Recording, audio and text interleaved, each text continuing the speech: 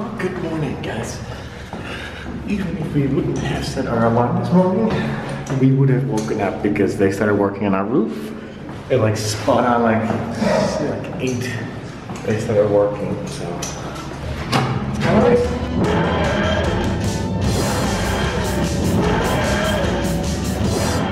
Bye-bye. We made it to my best in time. We actually went to McDonald's quickly because I know I'm gonna regret it when I don't have any food.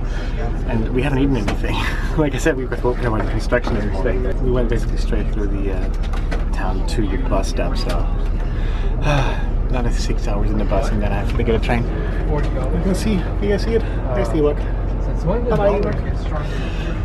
So the next couple of hours, I will hopefully have some internet connection.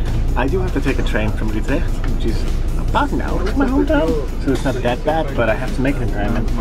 Since I'm not sure if we actually make the train station Utrecht in time, it's gonna be quite a challenge. Luckily, the trains towards Rotterdam, which is basically the area where I live, it's like every 15 minutes. That's, that's kind of good. I'm gonna enjoy myself some nuggets and my leftover fries that I didn't already chew halfway through. So really smart this time.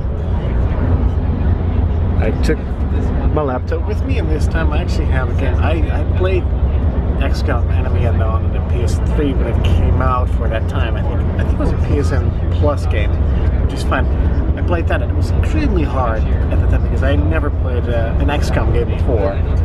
And this time around, I'm a little bit more prepared, and uh, I think I am two and a half hours in, but can see in the distance, it is already 2.30, so so much better than last time. Last time was torture. Also this time, hopefully we arrive in camp, so that also helps a lot. Uh, if, if everything works with us, man, I could be on the train to Dordrecht at like 6.30, if I'm lucky. And if I'm really lucky, I could be in Dordrecht like 7.30, 8.30 max everything works with the train system because that's always I guess. But other than that, it's been pretty good so far. Yay! I made it to Rotterdam Central Station, so one more stop. I actually have to switch, so it's not really a stop. But one more stop and I'm actually home, kind of. Hometownish home. it was actually surprisingly nice. Because of the penny board, I made it in time at the other train, because otherwise I would not be here yet. We were actually 15 minutes early, which was really nice.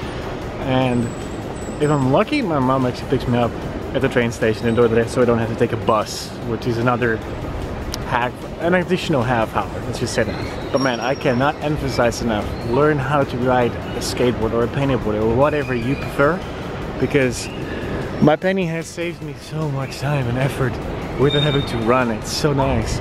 Even if it takes a bit longer to get on, like for the first time.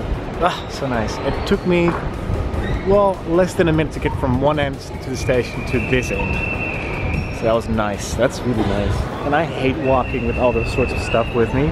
So this is a, a nice thing. I'm actually so fast that right now, well, my train is not leaving for another 10 minutes. So that's it.